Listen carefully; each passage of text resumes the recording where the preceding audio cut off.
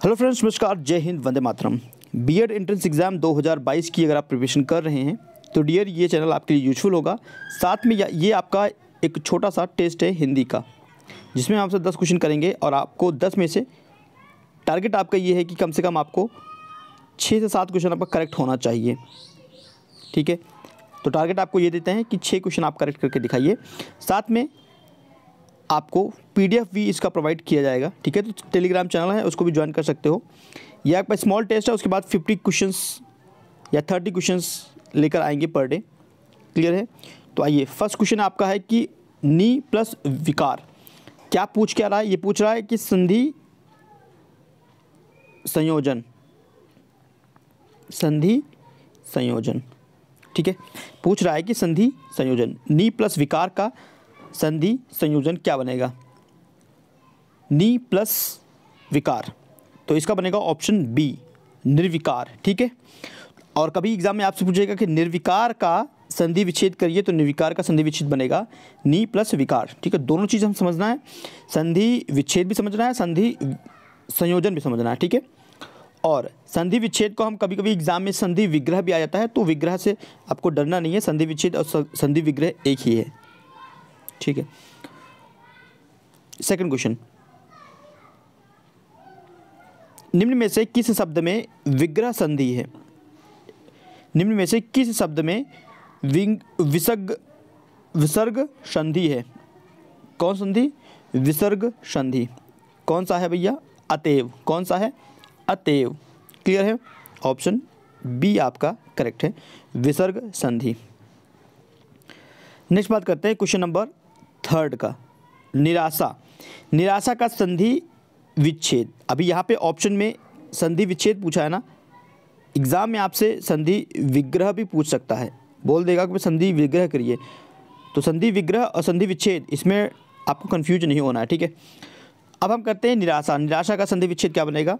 नी plus आशा, निर plus आशा, निराह plus आशा या निराह plus आशा तो ये आपका बनेगा नी प्लस आशा। ठीक है, ऑप्शन फ़र्स्ट आपका करेक्ट है। नेक्स्ट बात करते हैं, इत्यादि। इत्यादि का संधि विच्छेद क्या होगा? इत्यादि का संधि विच्छेद क्या होगा? तो इति प्लस आदि। क्या बनेगा? इति प्लस आदि, इत्यादि। ऑप्शन डी आपका करेक्ट है। नेक्स्ट है आपका, भूषमा में प्रयुक्त संधि। तो भूष्मा में कौन सी संधि प्रयुक्त किया गया है? तो इसमें आपका प्रयुक्त किया गया है कौन सी संधि डियर दीर्घ संधि। कौन सा संधि?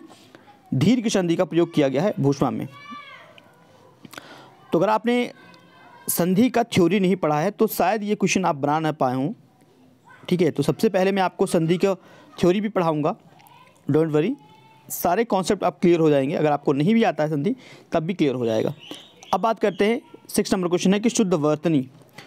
तो कावित्री का शुद्ध वर्तनी कैसे लिखा जाता है कावित्री? एक्चुअली में ये पूछा जा रहा है। कावित्री, ठीक है? कावित्री ऑप्शन ए बी सी या फिर डी कावित्री, ये आपका बनेगा ऑप्शन सी ठीक है? क्लियर है? चलिए क्वेश्चन सेवन निम्न में से शुद्ध वर्तनी। आपको शुद्ध वर्तनी बताना है कि कुमुदनी कैसे लिखा जाता है? कुमुदनी कैसे लिखते हैं? तो ऑप्शन सी आपका करेक्ट है, कुमुदनी, ठीक है? शुद्ध वर्तनी इंपॉर्टेंट है।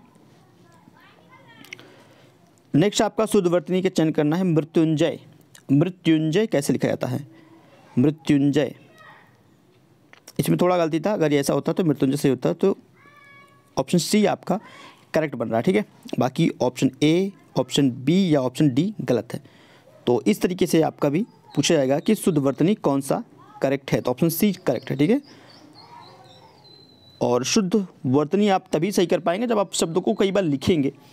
टफ शब्द को कई बार लिखेंगे, जैसे द्वंद्व है तो द्वंद्व आपका सही क्या है? ऑप्शन सी, ठीक है? द्वंद्व किस प्रकार से लिखा जाएगा? इसको आप एक से दो बार अगर प्रैक्टिस करते हैं तो आप ईजिली शुद्ध वर्तनी बना ले जाएँगे, काफ़ी आसान होता है। नेक्स्ट पूछ रहा है कि शुद्ध वर्तनी बनाना है अपकीर्ति का। कीर्ति, अब कीर्ति इट मीन्स ऑप्शन ए आपका करेक्ट है, ठीक है? बाकी ऑप्शंस आपका गलत है। अब कीर्ति ए करेक्ट तो ये रहे आपके टेन क्वेश्चंस ठीक है? चैनल को आप सब्सक्राइब कीजिए बेल आइकन प्रेस कीजिए। बेल आइकन प्रेस करना इंपॉर्टेंट है, जिससे आपको नोटिफिकेशन मिलता है। प्लस इसी के नाम से आपका टेलीग्राम है तो उसको भी ज्वाइन करेंगे तो वहाँ पर आपको जो भी इन्फॉर्मेशन आएगा एग्ज़ाम से संबंधित या फिर एप्लीकेशन कब भरा जाएगा, जो भी डिटेल्स रहता है, मैं आपको वहाँ पर डाल देता हूँ, ठीक है? चैनल से सब्सक्राइब करना मत भूलिए, क्योंकि आपको लेटेस्ट अपडेट मिलता रहेगा। Thank you for watching this video next video फिर मिलता तब तक के लिए धन्यवाद फ्रेंड्स